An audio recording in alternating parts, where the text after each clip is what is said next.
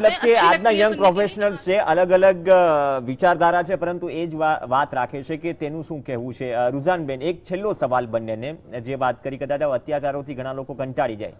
ખાસ કરીને આવા પ્રકારના કેસોમાં કાયદાકીય જે પ્રક્રિયા હોય છે તેનાથી પણ કંટાળવાનું બહુ મોટું કારણ છે. આપણને કાયદામાં વિશ્વાસ છે પરંતુ પ્રક્રિયાથી કંટાળી જવું લાંબા સમય સુધી એને અવોઇડ ના કરી શકાય આ મુદ્દાને.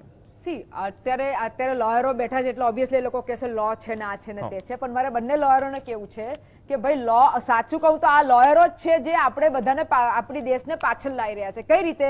કે કીધું કે ભાઈ આ વર્ષો સુધી કેસ ચાલશે. અગર કન્વિક્શનની મેં વાત કરી અત્યારે કે ભાઈ સો માંથી ખાલી અઢાર લોકો કન્વિક્ટ થાય છે તો બીજા લોકો એટલે જ છૂટે છે કારણ કે જે રીતે આડી અવળી દલીલો થાય છે જે રીતે આડાઅવળા ઇન્વેસ્ટિગેશનો થાય છે જે રીતે હોસ્ટેસ એટલે જ્યારે વિટનેસોને હોસ્ટાઇલ કરવામાં આવે છે જે રીતે મા બાપોને ધમ- ધમકા ધમકી કરવામાં આવે છે. એટલે બટ નેચરલ છે કે કોઈને ગમતું નથી. પહેલું તો ન્યાય પાસે ન્યાય જરવા બીજી હવે પોલીસોની વાત કરીએ હું એમ નથી કહેતી કે બધા પોલીસ ખરાબ છે પણ જે રીતે બહેનો પોલીસ પાસે જાય છે ને પહેલા તો એ લોકોને જ ગુનેગાર સમજાવવામાં આવે છે. ભલે લો છે.